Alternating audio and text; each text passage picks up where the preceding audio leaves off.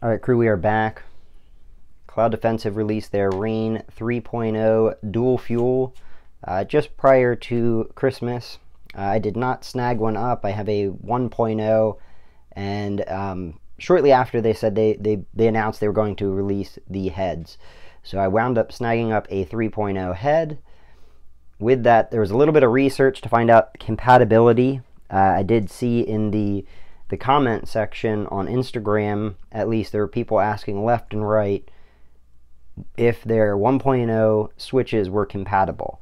So I actually have a spare switch here, but if you're get this thing to focus for you here, if you have a dual spring setup, you can see it's kind of hard to tell even with it out, but there's a second spring on the inside.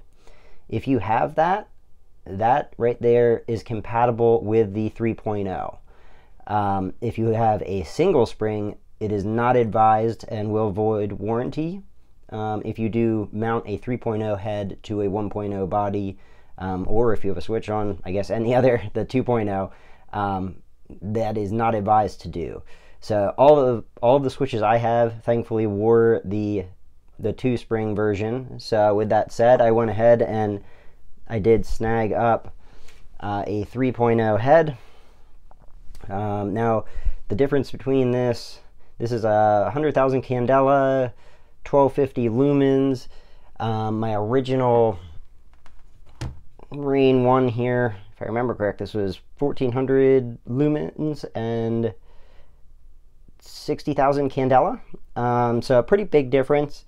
Um, but the main reasons that I went for the 3.0 head to upgrade this uh, was weight, now that I have the D-ball on the front, as well as the dual fuel, which you can actually see on the, the head here. They list the DF for the, the dual fuel. So that is, that is why I went that route and snagged that up. A little bit of weight savings, as well as the option to run the CR123 batteries. Um, aside from that, I will be doing, hopefully getting some testing in here shortly, but I do have I've snagged up a Rein 2.0. So we're going to be able to take a look at the output of, and huge shout out to my buddy uh, Hoodlum's Gun Bench. Um, he had this, he wasn't too big on the green, and I thought this would look good on my Sons of Liberty scalper build with my Geissele green rail. Um, so I snagged this up. I did snag up a Torrent offset M-LOK mount, which is the same one that I have on my SBR upper here. Um, but we'll, we'll be doing some comparisons. Uh, I did do a quick overview of the weight on the heads already, and the 2.0 head shockingly was lighter. Uh, it did come in at 1.7 ounces. The 3.0 was at 2 ounces, and then the 1.0 actually came in at 3 ounces. So some pretty interesting uh, data there, considering I know Cloud does push that the, the newer lights are lighter. So um, I am at some point hoping, Cloud at one point said they were going to supply replacements for back here to kind of upgrade the the bodies. Um, so I'm trying to see if they'll send that out too. I'm I'm very curious to see where the the weight differences are. Not that that matters too much, but um, as they're making the advancements, it's kind of interesting to to take a look at what they are changing and what that's done. As well as there are, is a, a new switch out there. This one is the older one, which has, if I remember correct, this is a three inch cable, uh, and the new one has a five inch cable. Um, in fact, the 2.0 here, eh, where did I throw that one? a couple boxes out in front of me here, guys. Um, but the the 2.0 here has the, the the newer switch, which has it doesn't have the ridges the whole way around the switch. So this extra one that you can compare to. And you're able to get either style on the cloud site.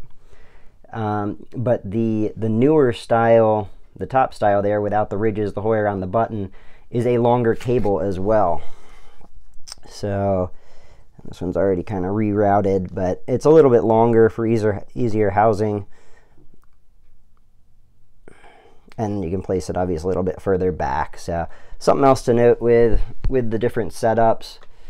Um, the change, if you are curious about the change in the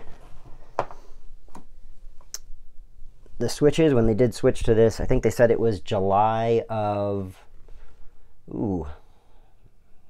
I'll have to go back and I'll find the date and I'll add it in here, but um, there was a particular manufacturing uh, month that they added in the dual spring. So if you know when you purchased yours, obviously it's easier to, in my opinion, pull it apart and check this to be safe. Um, but I will add a screenshot with the manufacturing date that they're calling out uh, of when they made the change to the dual spring. Um, but a lot of cool stuff in the works. Just ordered a, a bunch of Geissele stuff off of Brownells. Um, so a lot of lot of cool stuff rolling in that I will be posting up here in the near future, as well as I'm going to hopefully do a rundown with all with both these lights as well as that head, the 3.0 head, and we'll take a comparison of the light uh, out in a dark field and and see about the reach and and being able to ID out at a certain distance there. But I will I will catch you guys later. Run suppress, stay blessed.